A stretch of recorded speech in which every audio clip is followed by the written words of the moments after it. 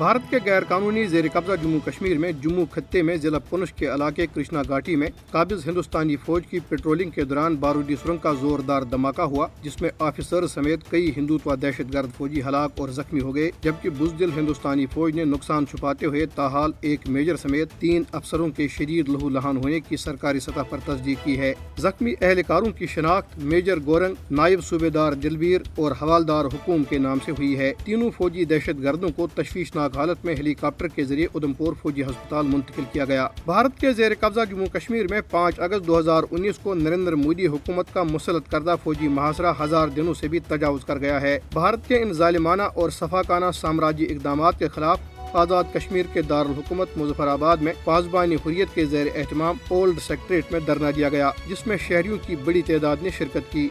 शहरियों ने बैनर्स उठा रखे थे, जिन पर मकबूजा रियासत में मुसलसल एक हज़ार दिनों के शरीर तरीन फौजी महासरे पर अकवा मुतहदा की खामोशी पर सवाल दर्ज थे। शहरियों ने कदबे उठा रखे थे, जिन पर आलमी बरदरी से इसतसाब राय का मुतालबा और भारतीय रियासती दहशत गर्दी के खिलाफ मजमती जुमले दर्ज थे। रैली के शुरा भारतीय फौजी कब्जे के खिलाफ पुरजोश नारे बुलंद करते रहे। भारत मुखालिफ रैली से खताब करते हुए मुकर्रीन ने कहा कि पाँच अगस्त दो हज़ार उन्नीस को भारतीय जनता पार्टी की सफाक हुकूमत ने न सिर्फ़ रियासत जम्मू कश्मीर को तकसीम किया, रियासती तशख को मिटा डाला, बल्कि नौ लाख फौजियों के ज़रिए डेढ़ करोड़ आवाम को मुहासरे में लेकर पूरी रियासत को एक जेल में तब्दील कर दिया। मुकर्री ने कहा कि आज इस फौजी महासरे और लॉकडाउन को एक हज़ार दिन हो गए हैं, लेकिन इंसानी हकूक के आलमी इदारे और अकवा मुतहदा भारत की रियासती दहशत गर्दी पर खामोश तमाशी का किरदार निभा रहे हैं। मुकर्री ने कहा कि जम्मू कश्मीर का रियासती दर्जा खत्म करके दो हिस्सों में तकसीम करना हुकूमत हिंद की बदतरीन रियासती दहशत गर्दी थी।